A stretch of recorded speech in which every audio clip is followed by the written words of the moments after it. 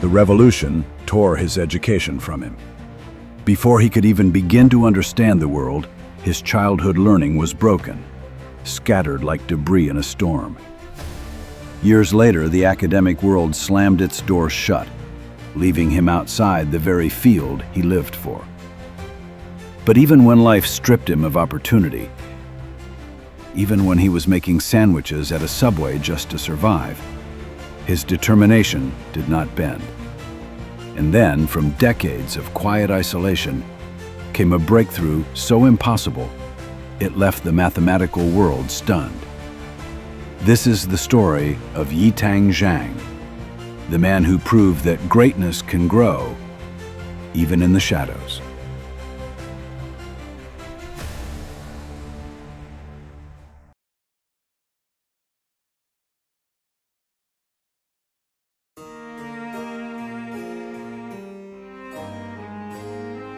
Yitang Zhang was born on February 5, 1955, in Shanghai, a city alive with intellectual promise, yet standing on the edge of one of the most turbulent periods in modern Chinese history. His parents were both teachers, his father a physics instructor, his mother a mathematics teacher, and from the very beginning, numbers, logic, and quiet curiosity filled the air of his childhood home. While other children played in the streets, Zhang found himself drawn to the strange, elegant patterns hidden inside arithmetic and equations. It was subtle, almost invisible, but the early seeds of a mathematician had been planted. Then came the Cultural Revolution. In an instant, China's education system, once vibrant and ambitious, collapsed. Schools shut their doors, textbooks disappeared. Teachers, including people like Zhang's own parents, now faced suspicion, persecution, and chaos. For a young boy with a growing love of learning, it was as if the world had gone silent. With no structured classes, no reliable books, no guidance, Zhang turned inward. He taught himself with whatever scraps of knowledge he could find, one pencil, one tattered book, and endless hours of solitary study. Mathematics became not just a subject, but a lifeline. As political turmoil deepened, millions of young people across China were sent away from the cities. Zhang was among them. As a teenager, he found himself in the countryside, performing hard agricultural labor under unforgiving conditions. He was cut off from libraries, cut off from teachers, cut off from every academic resource a budding mathematician could hope for. But he was not cut off from thought. In the stillness of the fields, in the repetitive rhythm of physical labor, Zhang's mind wandered toward numbers, toward primes, toward the quiet problems that no political movement could remove. Solitude, once forced upon him, became the foundation of his intellectual strength. Years later, as China rebuilt itself, a miracle of timing occurred. The National College entrance exam, the Gaokao, was reinstated in 1977. After a decade of lost education, Zhang seized the opportunity. Despite years without formal schooling, he scored high enough to earn a place at Peking University, one of China's most elite institutions.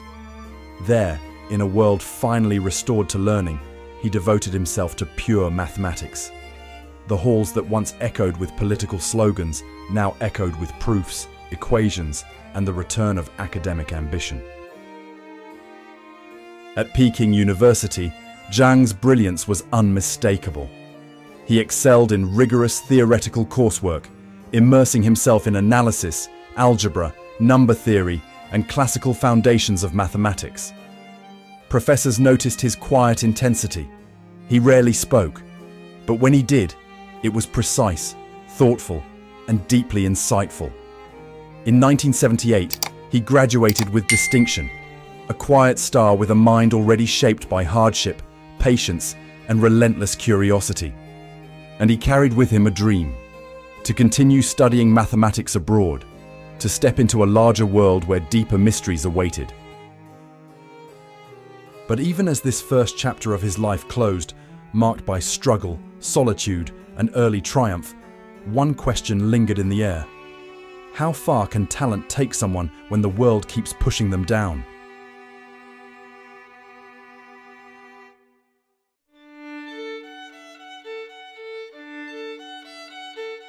In the early 1980s, Yitang Zhang stepped off a plane into a world that felt impossibly distant from everything he had known. Purdue University, vast, modern, foreign, was intimidating in ways he couldn't yet articulate. English was not only a new language, but a new barrier. Every lecture, every textbook, every discussion demanded twice the effort. And yet, buried beneath the confusion and cultural shock was something familiar. Mathematics. It was the one place where the symbols did not change, where the logic did not waver, where solitude could still be strength. Under the guidance of Professor Tzuong Tsieng Moh, Zhang began shaping his graduate research. His dissertation, titled Small Gaps Between Primes, circled a question that had fascinated him since youth the mysterious spacing of prime numbers. It was early, fragile, and not yet fully formed, but it carried within it the seed of a revolutionary idea. Even then, long before the world would ever hear his name, Zhang was already charting a path toward one of mathematics' greatest unsolved problems. In 1991, after years of study, Yitang Zhang earned his PhD. But instead of a door opening, they all seemed to close at once. The academic job market collapsed. Positions were scarce. Universities passed over his applications without a second glance. His publication record was thin, his network small, his voice quiet. And the world of mathematics responded with silence. For a newly minted PhD with decades of potential, it was a devastating moment. He had achieved so much, only to find that no one wanted to give him a chance. Without an academic job, Zhang found himself drifting far from the world he loved. He worked at a Subway sandwich shop, making sandwiches for customers who would never guess the depth of the mind serving them. He later found work as a bookkeeper, sorting receipts and numbers that had nothing to do with primes or analytic number theory. By day, he performed routine tasks for modest pay. By night, he opened old notebooks and returned to mathematics, his true home, even if no institution recognized it. This was research conducted on the margins. No grant funding, no office, no colleagues to consult, no library access to the journals shaping modern number theory. And yet, Zhang refused to stop. In the dim light of his apartment, he pushed forward, alone, working through the deepest problems of primes with only determination and intuition as his guides. He submitted papers that were ignored, forgotten, or misunderstood. He persisted anyway. The world had turned its back on him, but mathematics, mathematics still opened its arms.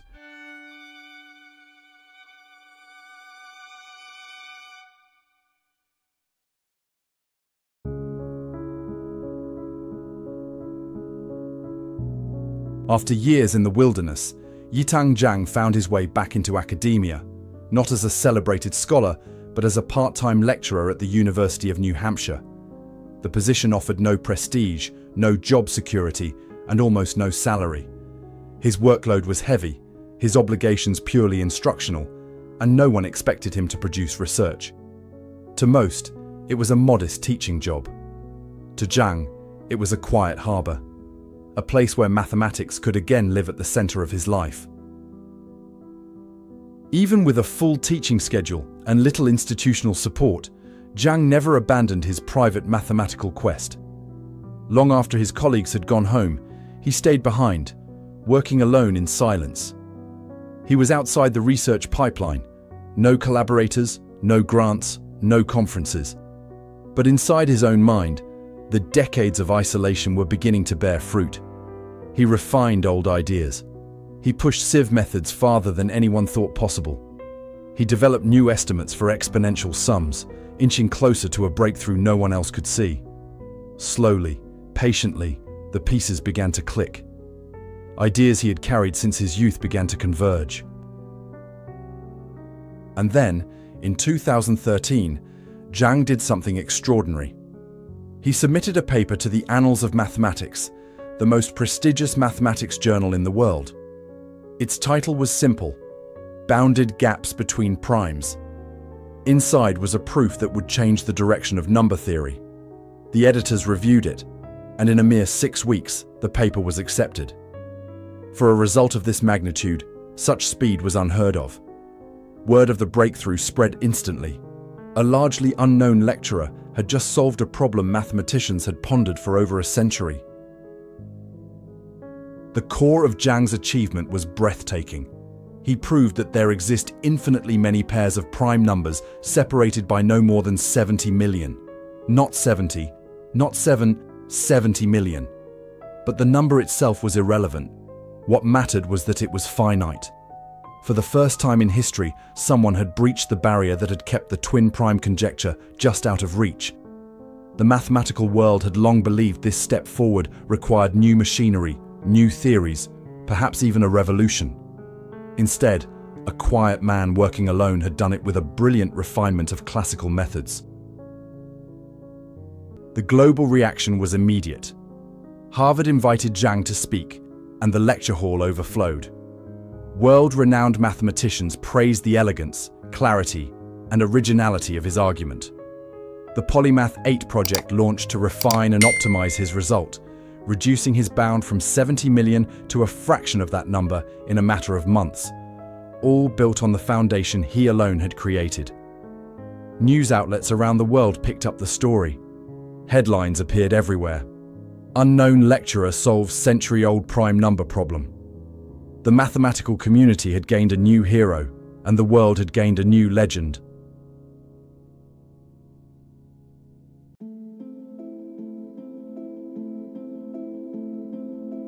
In the wake of his breakthrough, global honours poured in with astonishing speed. In 2014, Yitang Zhang received the MacArthur Fellowship, known to the world as the Genius Grant.